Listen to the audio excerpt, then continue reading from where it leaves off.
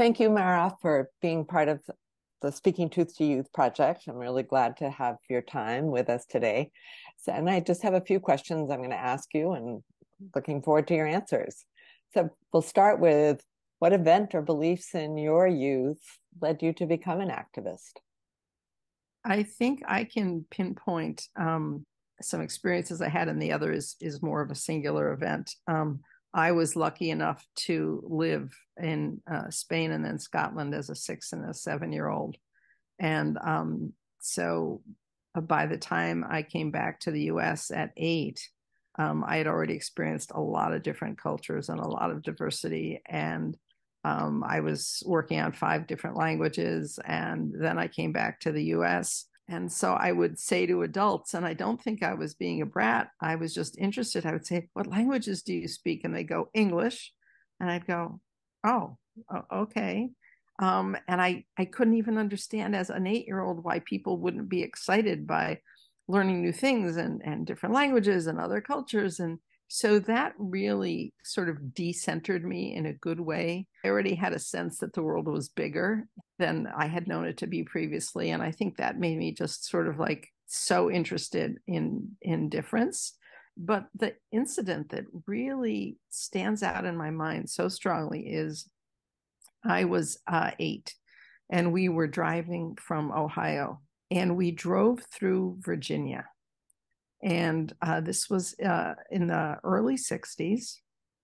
And we stopped at a rest area. So this was my mom, my dad, me, uh, an older brother, and a younger sister, and uh, we stopped at a at a gas station to get gas, and I went off to find the bathroom. And I guess I was trusted to do that at that point by myself, and I saw that there were three bathrooms, and that was like I didn't quite get it, and they were labeled men, women, and colored. I was just full of sort of shock, confusion, indignation. Know, I also had the pure kind of understanding that if something was against the law, that meant it couldn't happen. What I also remember about the story is that I tried to ask my parents about it, and they just said, Get back in the car, get back in the car. What I realized later was that as Jews traveling in the South during that period, they didn't feel very safe either. And so sort of the indication of where we were and sort of alarm about that made them very short with me. But for me, it also started me on that trajectory of when adults don't talk to kids about injustice or something that's going on, then that's really problematic because it's like, how do you make sense of the world and know what to do about it if people don't want to talk about it? So that really sort of stuck in my mind as the first time that I understood that the world was not even the way we were told it was, that there were things going on that were not fair and not right. And a lot of my work now around anti bias education really, you know, says it's not just enough to do diversity education. We have to literally push against and teach against some of the misconceptions and stereotypes and prejudice that surround children from the time they're born. Um, and so it has to be very explicit. It's not just children of many lands. That's nice. And I have no objection to the multicultural food potluck. I think that's fine. But we don't want to stop there. We want to also make sure that we're understanding like what's going on at the border. And yes, that's Mexico and they eat tacos. And what's going on at the border and why do people eh. respond to Mexicans that way? And and maybe we should learn some Spanish if we don't know that. And you know, so really pushing past kind of cultural appreciation to really having a more justice oriented lens of of understanding sort of what what's happening. And, and and then another word that I really dislike intensely is tolerance. Tolerance has always seemed like a really kind of shabby goal. Like, you know, I see you, I see how, you know, who you are, and I'll tolerate you. And I always say, I don't want my friends to tolerate me. I want them to understand me, value me, appreciate me, stand up for me, whatever. I don't want to be just tolerated. So, what continues to motivate you to be an activist or what guides you? What gives you courage? I um, am Jewish, and there is a principle in Judaism which is called tikkun olam, the repair of the world. And it is one that really guides my work. It really says that it's our obligation to make the world better.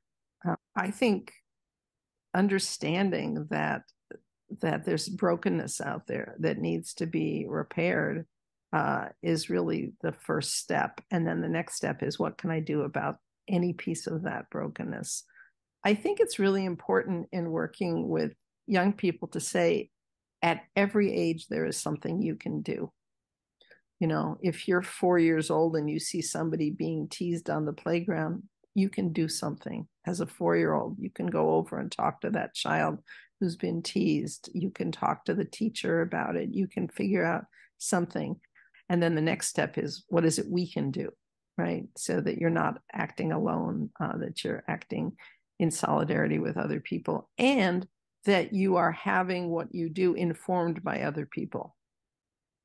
Um, that sometimes people go off on a, oh, I'm going to do this because it'll be good. And then it's like, well, did you check with the people you think you're being an ally for? Or so the understanding that before we kind of rush in with some kind of savior mentality or sort of wanting to do that we check with somebody if we possibly can. Would this be helpful? How would you feel about that? Or i did this in support of you. Did that feel right? Was that good? Or was there something else i should have done? I think it's being alert to what's going on reading talking to people listening um, as I said, you know, I hear things all the time where I'm like, wow, I never thought of that. I didn't know that. I I have middle class privilege. I never dawned on me that canceling these bus routes was going to have this implication for people who, you know, like it's like, how do I go, wow, how do I understand things, not just through my own very limited lens, but um, through other people. And so it became really clear to me to be an effective activist, you have to have connections and relationships with other people. You can't do it, you know, from your study.